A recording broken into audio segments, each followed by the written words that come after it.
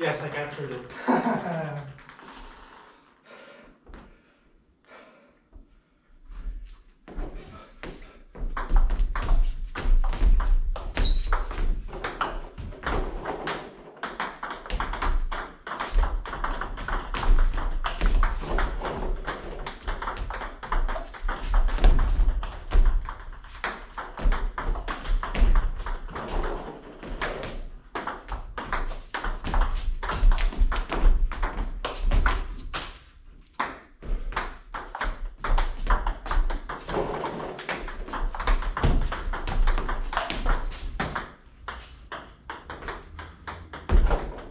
Eight. That's not eight. It's close. It's Approximately. approximately eight. More or less, give or take. Mhm. Let's go much slower. Well, that's got those, at least three hits. The thing, the other one's just one. Continuous even if you miss. Yeah.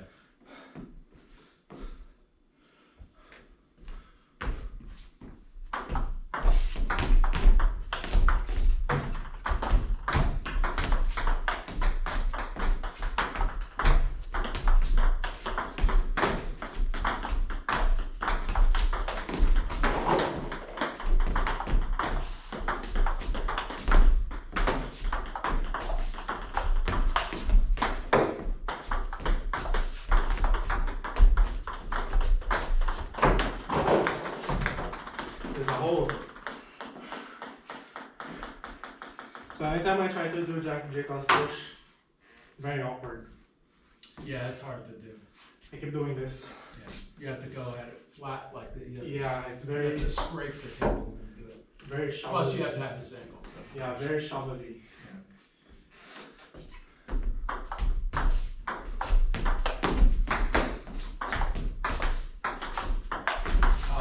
That's because you keep going into it straight, it's a side. The push is like here, and then slice, so, like that. It ain't here. You don't, huh? You have to hit it further back. So, this has to be perpendicular roughly to where you're aiming the ball. So if you're going there, it has to be, you have to hit it like here. Or, but you have to be like close to the table, and it's not, it's not in front of you like this, it's off to the side. So if I, if I do this and you wanna aim straight, you have to hit it further back. Yeah, like that. But your paddle's too high, your paddle's too high. Your knuckles have to scrape the table. Yeah. Not up like that, roughly parallel with the table, like- that. So you have to barely skim the table. You're, you're kinda hammer fisting it. You lay it flat, but, and then you, like you're gonna shave the table like that. Yeah. Yep, that's it. I only want to try it because I'm trying to maintain the same grip for uh, and bodies. Because I normally loosen it. Open up, like, yeah. So you can do, uh, release, open. That's usually when, well, that's majority of pushes. The release. Yeah, the, the only thing, the advantage is to doing this one is you can, you can come in like you're gonna push and flick.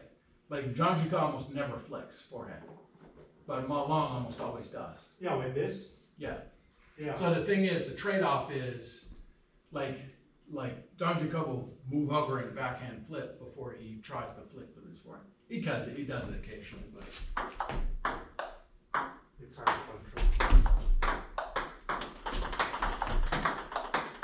And it becomes long.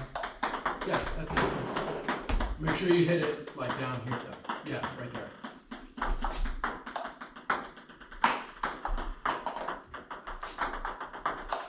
Yeah, and you kind of, like, just like you jabbed into it a little bit, that's kind of how it is. Yeah, there you go. So you cannot go off the bounce. Uh, no, no, this is a on the rise, half on the rise. Ah, that's why you cannot. You do get it off the bounce. No, no, you do. Like I do.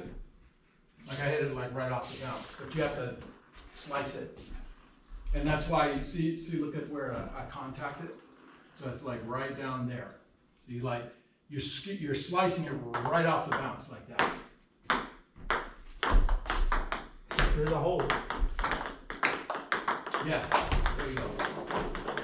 So you want to catch it while it's coming up, and you might have to actually open it like this. So it's not always like flat. It's like it's whatever angle you need. The difference is it's off to the side instead of like you're directing it like that. Now handle it down. Yeah, handle down. Yeah. Yeah, that's how you aim the stroke. And then later you get the idea of keeping it low, like, but you're not, you're not really keeping it. No, that's too long. You can control it that way, but you wanna get it close off the bounce. So.